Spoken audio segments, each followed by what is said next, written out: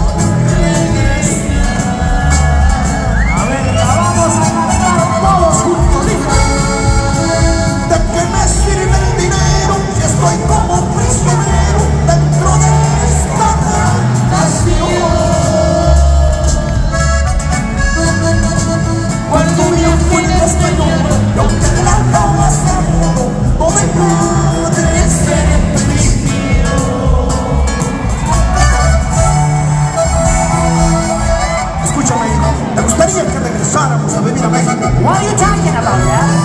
I don't want to go back to Mexico. No way.